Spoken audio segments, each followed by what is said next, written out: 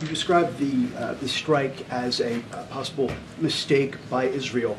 According to uh, Haaretz, the Israeli newspaper, it wasn't one strike, but three. The first one, then an interval during which aid workers got out of their vehicles, removed the wounded, tried to move to another vehicle which was struck, and then a third strike what, as they tried to move and escape in a third vehicle, at which point all of them uh, were dead.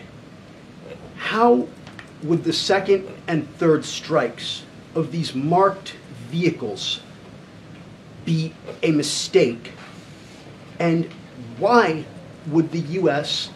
not more forcefully set conditions on the use of U.S. made weaponry when it is being used to target aid workers? If the first one was a mistake, the second two were targeted with the intent of killing everyone in that convoy. So, how do you respond to that? Uh, first of all, there's an investigation going on. So why don't we let it get done?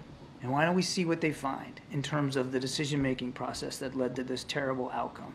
Prime Minister and the IDF have noted that it was their error. If you don't like the word mistake, their error.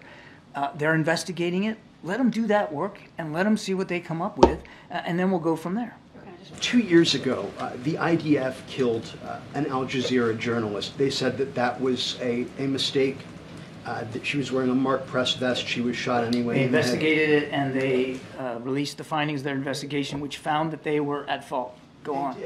Uh, But my, my question, sir, is in that case, uh, the, Is- the Israelis did not initiate any criminal uh, proceeding.